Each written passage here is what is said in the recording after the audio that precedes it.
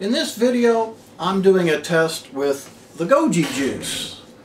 I want to see if using the goji juice will improve my blood situation. Um, I've noticed that uh, using my microscope and doing live blood analysis that uh, I've got what they call rouleau or sticky blood where the red, red blood cells will tend to stick together uh, like stacks of coins in long chains.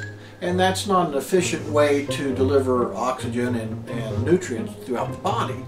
So by using the goji juice, which is from a berry in China, uh, hopefully I can uh, make my red blood cells uh, become more individual and therefore they're able to carry more oxygen and nutrients throughout the body. So uh, for 32 ounces, what I've done is taken an ounce a day for a month, basically a half ounce in the morning and half ounce in the evening, and have documented my progress with uh, the microscope, doing you know my own live blood analysis, uh, you know, uh, four times during the month, and you'll see the evidence behind me. And I did see where it would seem to help some, not I, I, didn't get the really the results that I was really hoping for, but it did seem to help some. And what that will do is is uh, hopefully you know I'm getting more energy. Um, it's improving my immune system to fight infections and disease and whatnot.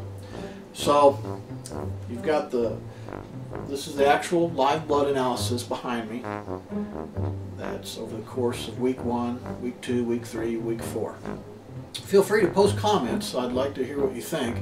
Um, or, in fact, if you're some kind of microbiologist, uh, you see something wrong with my blood that I'm not aware of, like maybe I got lupus or something, let me know.